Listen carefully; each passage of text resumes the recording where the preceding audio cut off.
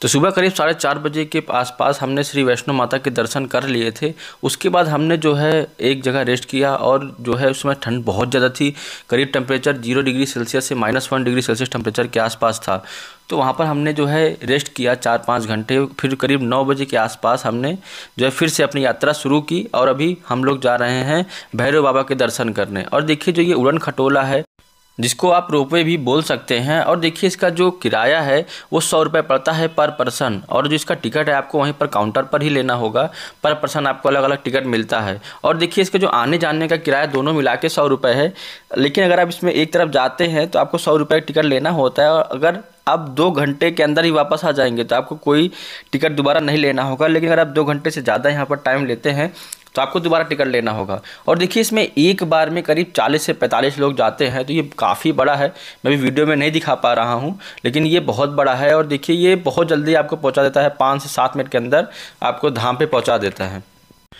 और एक बात का आप ये ज़रूर ध्यान रखिए कि यहाँ ठंड बहुत ज़्यादा है। अगर आप ठंड के सीज़न में आते हैं तो यहाँ ठंड बहुत ज़्यादा पड़ती है। यहाँ टेम्परेचर ज़ीरो डिग्री सेल्सियस से माइनस वन माइनस दो डिग्री सेल्सियस टेम्परेचर भी हो जाता है। देखिए स्नोफॉल तो नहीं हो रहा है, लेकिन हाँ ठंड बहुत ज़्यादा है।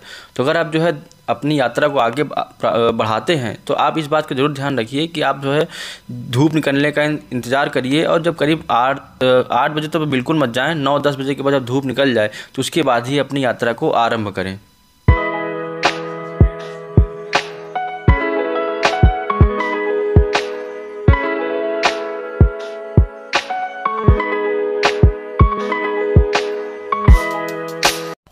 तो भैरव बाबा के दर्शन हमने कर लिए हैं। अगर आप जो है वैष्णो माता के दर्शन करने आते हैं तो आपको भैरव बाबा के दर्शन ज़रूर करने होंगे। क्योंकि अगर आप भैरव बाबा के दर्शन नहीं करते हैं तो वैष्णो माता की जो यात्रा है, वो अधूरी मानी जाती है। और यहाँ पर अगर आप दर्शन करने आते हैं तो यहाँ पर भैरव बाबा के साथ साथ आपको श्री बड़े हनुमान जी के भी आपको दर्शन करने को मिलेंगे।